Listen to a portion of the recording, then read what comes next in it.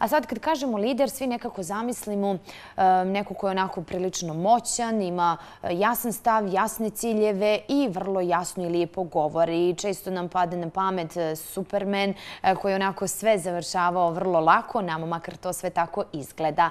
Ali ono što je za lidera najvažnije jeste da znaju da pregovaraju. Pa zato mi u nastavku pričamo i koje su to tajne ove vještine i može li danas lijepa riječ da otvori sva gvozdena vrata. Naša gošća na tu temu je Milena Nikolić, psiholog i trener. Dobro jutro i dobrodošli. Dobro jutro i bolje vas našli. E sad, mi smo eto pomenuli Supermana, negdje onako kad smo pričali e, i kad se generalno priča o tim liderima, uvijek zamišljamo neko ko je onako prilično precizan, prilično samouvjeren i e, uvijek jasno, glasno kaže šta to ima da kaže. Ali je li to baš uvijek tako? I koliko dobar lider mora biti timski igrač? E, super ste to e, primetili. E, vrlo često brkamo neke pojmove kao što je lider i liderstvo. Recimo, redki od nas su lideri i vrlo lako ih prepoznajemo ali to ne znači da mi u sebi nemamo nešto što danas u biznisu zovemo kompetencijom liderstva. Tako da ne mora svako od nas da bude supermen i supermenka, ali može da radi na svojoj kompetentnosti da prepokriva poziciju koja zahteva liderske veštine i liderske kompetencije. I naravno da je komunikacija, to jest pregovaranje kao deo veštine komunikacije, izuzetno važna jer Eh, ono što čini lidera i postoji pojam koji je njemu komplementaran, to je sledbeništvo, možda nije baš najbolji, ali to znači da jedan lider obično ima svoj tim, najčešće, mhm. jeli? Ima neke ljude sa kojima komunicira, sa kojima radi u poslovnom ambijentu i ima opet i neku spolješnjost, javnost koju se obraća. Tako da je veština komunikacije i recimo pregovaranje kao njen segment izuzetno, izuzetno važna za svakog lidera ili liderku. Mhm. A kako danas pregovarati? Šta je onako negdje najvažnije da znamo kad krećemo u te pregovore? E, pa ono što je za jednog lidera jako važno, danas postoje razne teorije o tome šta je lider, šta nije. Ja opet kažem, pričam više o tome šta je kompetencija liderstva. E, jeste ono što je svim liderima negdje, ljudima koji zauzimaju te pozicije liderstva e, zajedničko, jeste da su usmeri nekom cilju i da imaju to ciljevno usmereno ponašanje. E, I svaka osoba koja pokriva poziciju lidersku negdje ima neki krajnji cilj gdje želi da stigne ona, kao, mhm. ona i on kao pojedinac i zajedno sa svojim timom također.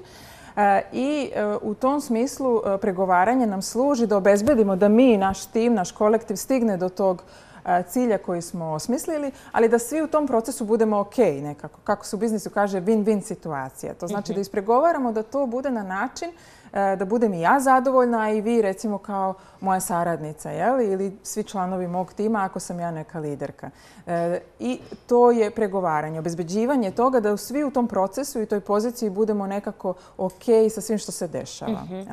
A koliko danas e, lideri ili osobe koje mi posmatramo kao lidere zaista imaju ove osobine koje ste pričali i zaista su svjesni e, tog e, timskog duha i važnosti njegovanja i važnosti rada sa svojim zaposlenima, da ih motivišu, da učine da više žele da budu bolji?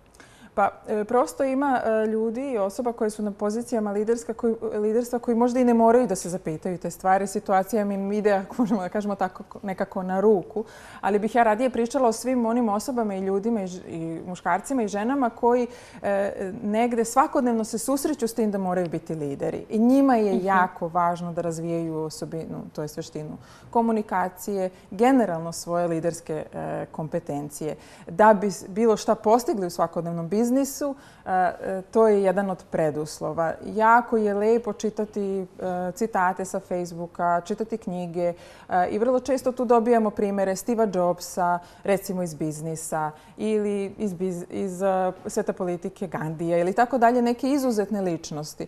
Međutim, ti tako ekstremni uzori nekada nam budu kamen spoticanje. Ne možemo svi mhm. biti Steve Jobs i Gandhi, ali svako od nas može da radi na tom nekom svom liderskom potencijalu koji sigurno u sebi imamo i da ga gradi na neki sebi svojstven način. Kroz komunikaciju, kroz pregovaranje, kroz usmerenost ka cilju, kroz bavljanje svojim timom, kroz razvijanje raznih svojih unutrašnjih veština, osobina, znanja, iskustava i tako dalje. To nas negde sve čini kompetentnim liderom i generalno ta e, konstantna svest da smo mi sastavni deo tima i da smo mi možda jedan od ključnih timskih igrača unutar naših e, timova, a ne neko ko je ovako van nekog sistema. Mhm. E sad, jesu li e, bolje lideri muškarci ili žene? Hm, to je ovako trik pitanje. generalno teško da možemo reći da su muškarci i žene nečemu tako bolji i gori. E, mislim da u nekom poslovnom kontekstu i načelno na našim ovim, ovim našim prostorima muškarcima nekako dolazi prirodnije i elegantnije se nose sa pozicijom liderstva od mlađih dana do kasnije, a da dame možda malo imaju to neko ustezanje da prihvate taj neki svoj mhm. liderski potencijal, da ga koriste e, i da možda i malo treba vetra u leća. Mislim da smo različiti i da je to super, kao što smo različiti i fizički i na mnoge druge načine, muškarce i žene, i da to nije ništa ni dobro ni loše, nego je tako i da to treba iskoristiti. U nekim situacijama muškarci su sjajni lideri, a u nekim drugim su također dame, fenomenalne liderke. Mhm. A koja je razlika između, na primjer, e, šefa i lidera? Velika. To je nešto kao recimo menadžer i lider.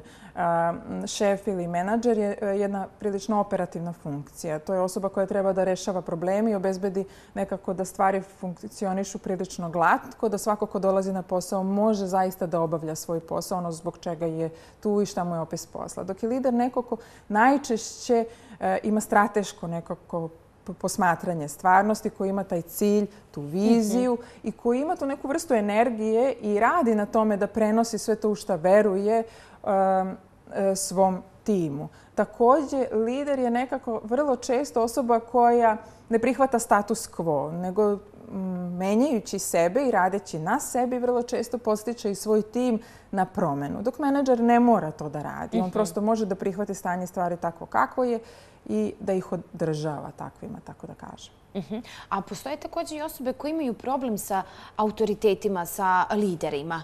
E, kako, a imate ga u svom timu, kako onda to da prevazićete? To je također sjajno pitanje. Danas generalno kažu taj e, mlade generacije, milenijalci i tako dalje, prosto su odrastali u nekom drugom ambijentu i taj neki ovaj, vojskovođa tip, e, kakav je godinama i decenijama unazad lider mogao biti, danas ne prolazi, jel? ne pije baš vodu. Mhm. Tako da jedan danas lider, e, vraćam se na to, treba da se bavite svojim timom.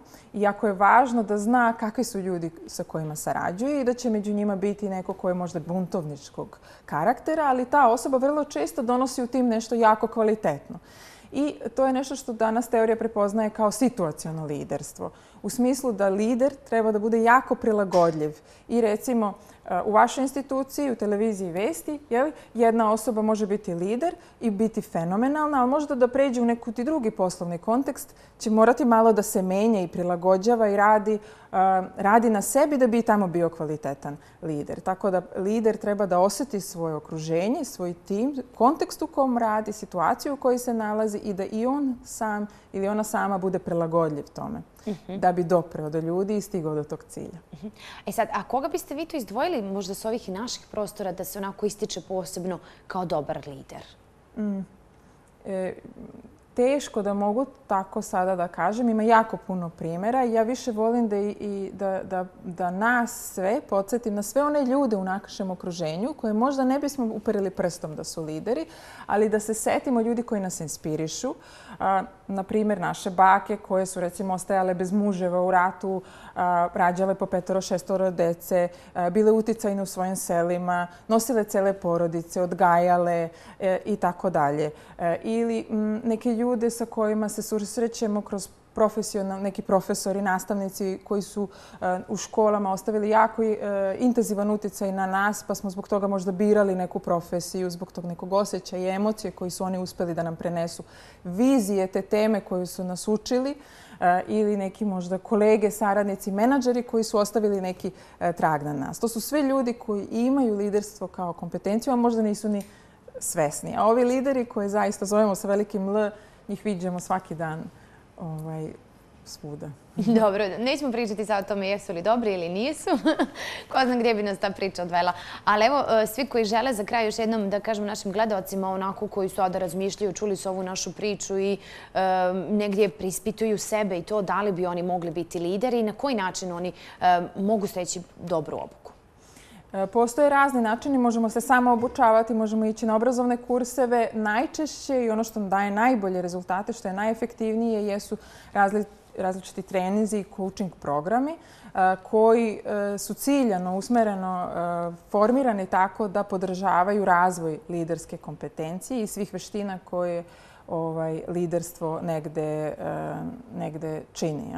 Mhm. Kao što je recimo coaching program, grupni coaching program koji je osmišljen u ovom trenutku, pre svega za dame, koji se zove Ja liderka i dešava se 12. Eh, oktobra u hotelu Hilton i sve dame koje negde procenjuju da im je liderstvo važno i da žele da rade na njemu, mogu da se prijave na taj, recimo, coaching program. Mhm. U redu, eto, hvala vam lijepo. Kazali smo da i žene i takako mogu biti dobre liderke, pa eto još malo onako lijepe motivacije ovog kišnog jutra eh, za sve naše gledateljke. A naravno, eh, pozivamo i sve ostale da probude taj osjećaj lidera kod sebe. Hvala lijepo, Milina, što ste bili naša gošća. Hvala vama najlepše.